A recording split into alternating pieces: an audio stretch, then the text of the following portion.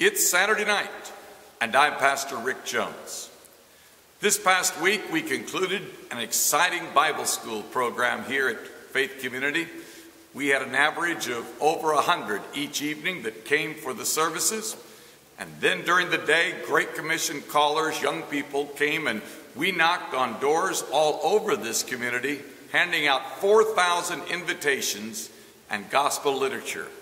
Oh, we're praying that God is going to bless that effort, as He already has with great fruit. We've had a number of visitors even to the Bible school. Throughout our Wilderness Escape uh, Bible School, we talked about how God brought the children of Israel out of slavery, how God made a way. How when they came to the Red Sea, the children of Israel saw no way through, but God made a way.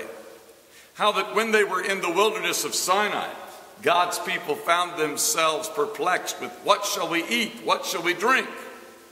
And God made a way. And then, when they didn't know what to do and didn't know how to live, God called his servant Moses to the top of Sinai to show them exactly what he expected of them. And again, God made a way. I'm so glad to know that God did make a way, and that God is making a way, and that God will make a way for us. Even today, God will make a way where there seems to be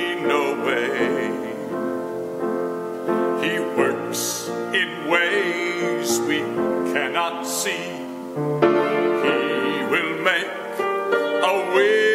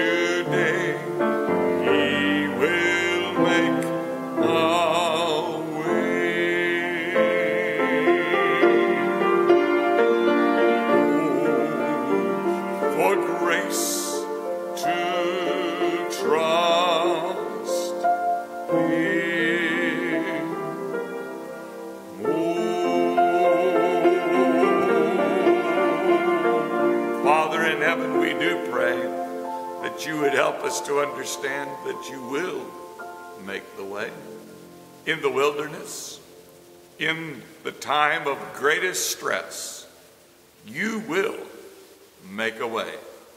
You made a way for our physical needs. You make a way for our spiritual need. When we needed a Savior, you gave us heaven's best. We pray, Lord, that today and this evening and then tomorrow on the Lord's Day, God's great grace would rest upon your church and that wherever the gospel is preached around the world today, that thy great grace would be felt, that the love of Christ would be exampled and extended to this hurting, dying world with the greatest news God has made a way. Bless us, Lord. Make us a blessing. Bless all of those who work so hard with the Bible school and with Great Commission. And we're asking your great grace to rest upon us once again.